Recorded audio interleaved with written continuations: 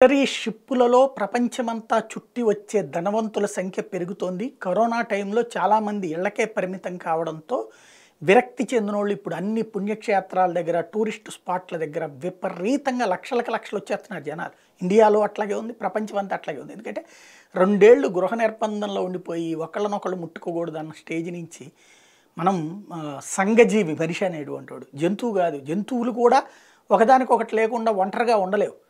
అలాంటిది ఇక మనుషులకి ఎట్లా ఉంటుంది? ఆ దెబ్బతో విరక్తి చెందిరి అట్లాగా షిప్లో తిరుగుతుంటే అది లగ్జరీ షిప్లో తిరుగుతుంటే అందులో కరోనా వచ్చి ఇబ్బంది పడినటువంటి సంఘటన ఇప్పుడు నడుస్తుంది. న్యూజిలాండ్ నుంచి వస్తున్న విలాసవంత పర్యాటక నౌక.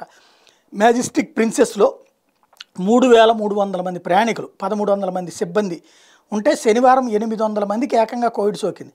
మెల్బోర్న్కి వెళ్ళాల్సిన ఈ నౌక ప్రస్తుతం సిడ్నీలోని సర్క్యులర్ క్వేలో ఆగింది. కోవిడ్ తొలినాళ్ళలో ఇదే తరహాలో రూబీ ప్రిన్సెస్ భారీ విలాసవంత పర్యాటకుల నౌకలు తొమ్మిది వందల మందికి కోవిడ్ సోకి ఇరవై ఎనిమిది మంది మహమ్మారికి బలయ్యారు.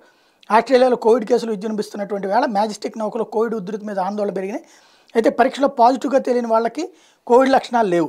కొద్దిమందికి స్వల్ప లక్షణాలు ఉన్నాయి. పరిస్థితి అదుపులోనే ఉంది. వాళ్ళని ఐసోలేషన్లో ఉంచామని చెప్పి క్రూయిజ్ జనరే ఆపరేటర్లు చెప్తున్నారు. బట్ ఇలాంటివి అంటే ఇంతకు ముందు అందులోనే కరోనా వచ్చి చనిపోయిన తర్వాత కూడా వారు దాన్నంతా కూడా శానిటైజ్ చేశాము.